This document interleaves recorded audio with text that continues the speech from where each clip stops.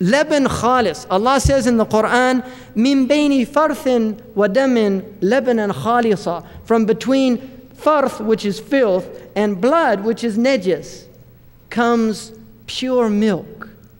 It's something extraordinary in this ayah because one, I mean, there's a scientific miracle uh, that was pointed out by Maurice Bucaille and others, but there's another important ishara here, and that is the nature of the mukhlis is that he is constantly surrounded by people who are not pure. They're impure. And in order to maintain his ikhlas and his sincerity to Allah subhanahu wa ta'ala, he has to be vigilant. He has to guard himself. He has to maintain the purity of that milk. And the purity of the milk is guarded by not exposing it. Right? This is what we do to maintain purity of milk. We cover it right? And this is why you have to veil your actions. You have to hide. You have, Sidi Muhammad Sharif once sent me a letter and he said, make your actions in secret better than your actions in, in open, in public.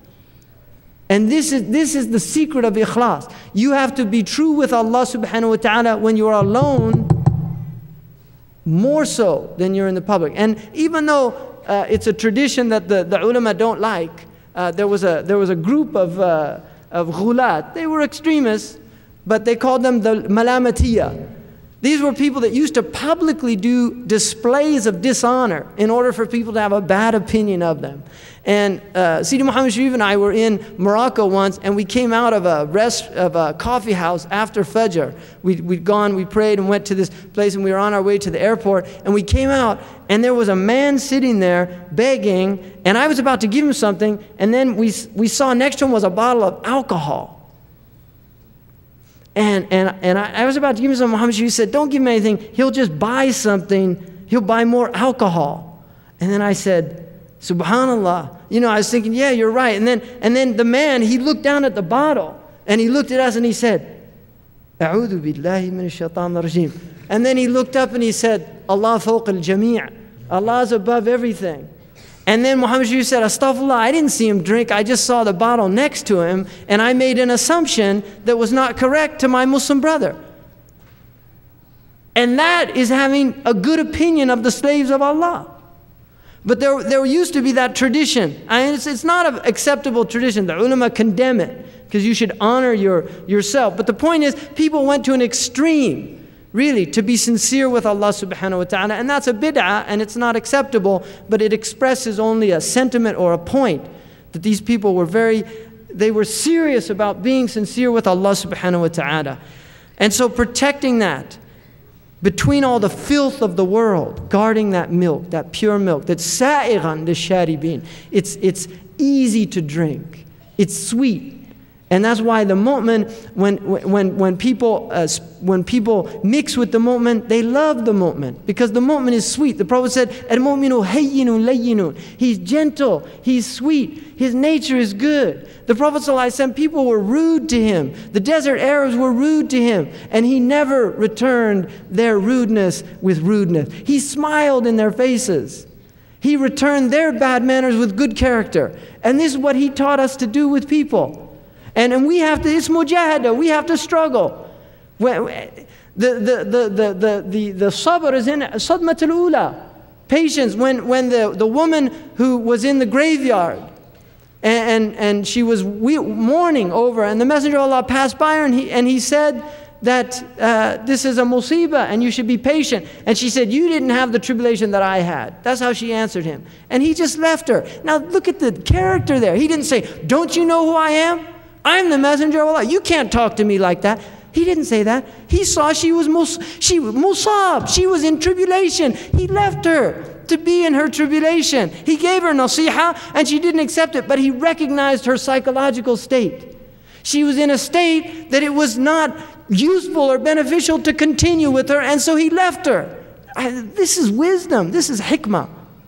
And then he went to his house and somebody came by and he, and, and he said, Don't you know who that was? That was the messenger of Allah. Suddenly remorse entered her heart. Astaghfirullah. And she went to his house and knocked on the door. Ya Rasulullah, I didn't know it was you. And the messenger of Allah said, Patience is in the first calamity, when the first thing hits. That's when, in other words, it, when the calamity hits, patience that Allah wants is at that point. That's the point Allah does not want you to lose control. That's the point to take. It's not when it's all over you say, Oh, please forgive me. I didn't mean to punch you after you said that to me. You know, I'm sorry. No, it's to, to stop. I'm not going to punch him. Right? I'm not going to do that. I'm not going to engage. I'm not, and that is mujahada. That is learning to suppress the nafs for the sake of Allah subhanahu wa ta'ala. Because we're here for Allah. We're not here for, and this is ikhlas, to do it for Allah's sake. Really, to do this for Allah's sake. To forgive your brother for Allah's sake. To forgive your sister for Allah's sake. Not for them. To do it for Allah subhanahu wa ta'ala. Really. There's people in here that haven't talked to their brother or their sister, or some of them to their mothers and their fathers. Don't be that person. Don't cut off your bloodship bonds. Don't be that person.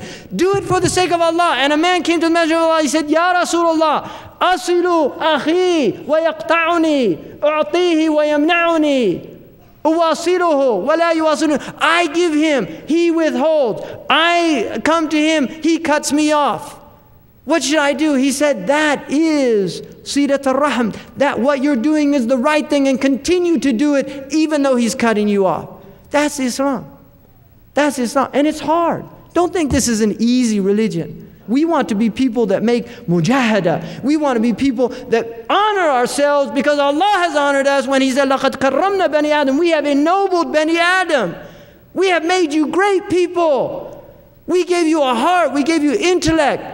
We gave you the ability to overcome the worst aspects of yourself. And even if, if from time to time you capitulate, we've given you the means to renew and to restore the self through tawbah. What a gift from Allah. So, this is what we have to do. Ikhlas. The opposite of ikhlas, as everybody knows, is riyah. And like Attar has a story of a man praying, Allahu Akbar, and then somebody hears the mosque door open and he says, I'll pray longer so they'll think I'm a really good person. And then he, he goes long prayer, long sajda, and then when he finishes, he looked to see who it is, and it was a dog that slipped into the masjid. right? right? Or like the man who was he was praying and somebody said, to another person, subhanAllah, that man, he prays so much, it's, it's unbelievable. And then the man said, Don't forget to tell him about my fasting, right? you know. There's people like that. It's hard, seriously. There are people like that. And when that comes to your heart, because it's the nature of being human, right? Really, from the time we're children, we love praise. Children do the most wondrous things to get the attention of the parent to get the attention of, of somebody who they feel has jah, they have a position. And, and we all want that. It's something that we have to fight that in ourselves. We have to fight it and oppose it and say, and I'll give you the cure for it. If everybody wants this, Sidi Ahmed Zarruq, according to the hadith, three times a day, in the morning and the evening, Allahumma inni a'udubika bika an bika wa ana a'lamu wa astaghfiruka mimma la a'lamu. That's it. Do that three times in the morning and three times in the evening.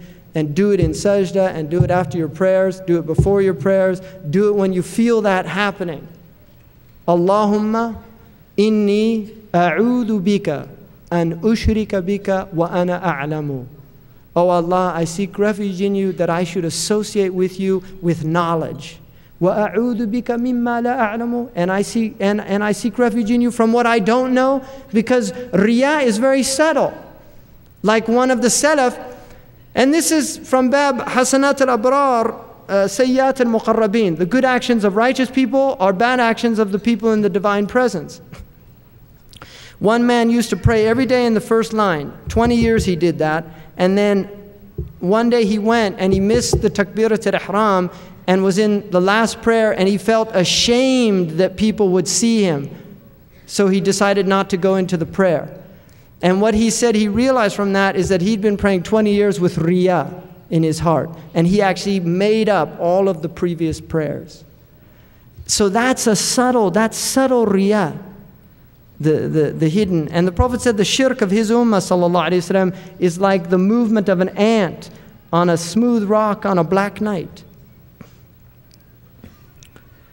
So ikhlas has to be done, and that's the cure for it. Now, the warning about it is this. In the hadith in Sahih Muslim, according to the hadith, أول الناس يقضى فيه يوم القيامة رجل استشهد. The first people that are judged on the day of it, a man who's martyred.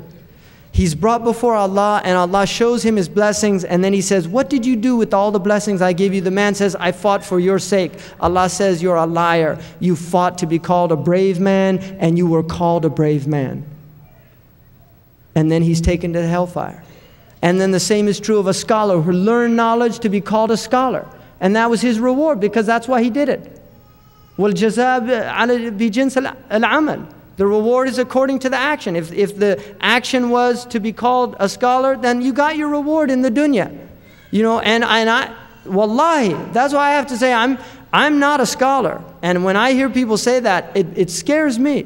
Because one, it's not true. And two, uh, because if that's in my heart, then, then I'm in big trouble with Allah subhanahu wa ta'ala. You know, to, to study. So, and Imam Malik said, even Imam al Jazuli said something that when I read it, it frightened me to death. He said, from riyah is when you read some strange thing in a book and you remember it to tell other people in a majlis. I mean, that's, that's getting very subtle. And when I, when I said that to one of my sheikhs from Mauritania, he said there might be some mubalagha in that. You know, but the point is, these people were very serious about protecting their hearts from riyah. And the Prophet said, once he came to a group of Sahaba and they were making mention of something, he said, What are you talking about? They, they said, The Dajjal. And he said, Can I tell you what frightens me more for my ummah than the Dajjal himself? And they said, What? And he said, Sallallahu Alaihi Wasallam, that they work for other than the sake of Allah. And we have a whole nation of people studying for pieces of paper. Wallahi, they're studying for pieces of paper. It's not knowledge. You can't tell me it's knowledge because I have the piece of paper. so nobody can tell me it's knowledge because I went to the school and I sat in the classes and, and, and did that thing and regret every, every minute of it. Right? It's not knowledge. You know, it's really, it's not. It's a lie. Now, I won't say that there are things like uh, medicine and engineering and that have benefits in them. But the vast majority of what they're teaching is just absolute uh, nonsense. It's just nonsense. Psychology. Don't tell me getting, I'm getting a degree in psychology, right? Oh, psychology in the Arabic language is ilmun nafs. And if you think these people know anything about the nafs, just try reading some of their self help books. Seriously. I mean, we've got Muslims reading uh, Stephen Covey. I mean, the reason I did that talk, I did a talk called Seven Habits of Muslim, was because all these Muslims I was hearing, oh, did you read Covey's book and this and that? Subhanallah. You're taking your deen from a Mormon? really? You're taking your deen? Because it's deen, it's about muamala. That book's all about how you know, to, to be in the world. That's where you're taking your sunnah. And you say, no, but it's just like Islam. Well, then take it from Islam. Don't take it from him. Don't tell me, oh, it's just like Islam or he got it all from Islam. Why don't you go to the source that he went to if he got it all from Islam? Seriously, it's a madness. We've gone mad collectively. This is an ummah that is, has, has a collective madness right now. Wallahi, it's collective madness. So that, that's the reason. Now,